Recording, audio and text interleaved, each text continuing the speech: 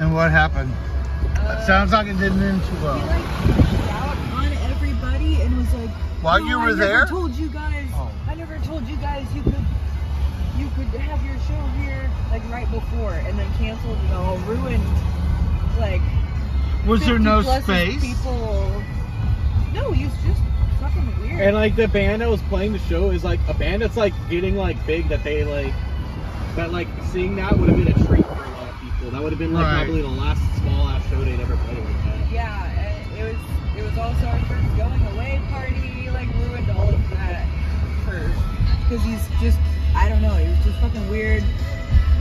Like I guess he was having some trying to negotiate with his roommate uh, for like the noise uh, cutoff times and like he just freaked out on everybody.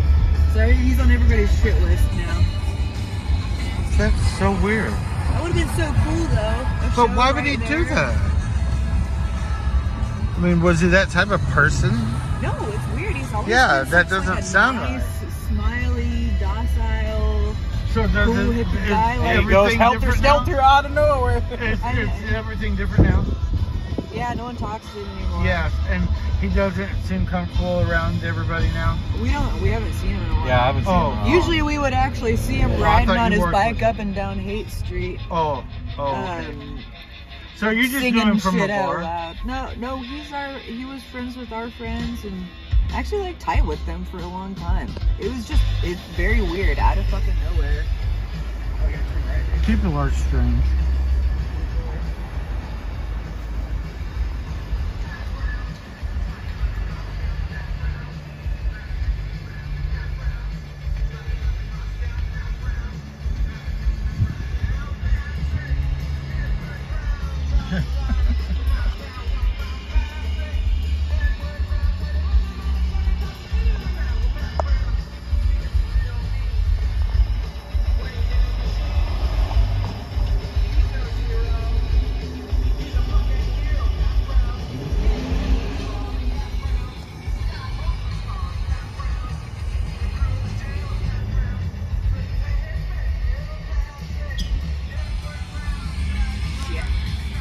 Poop?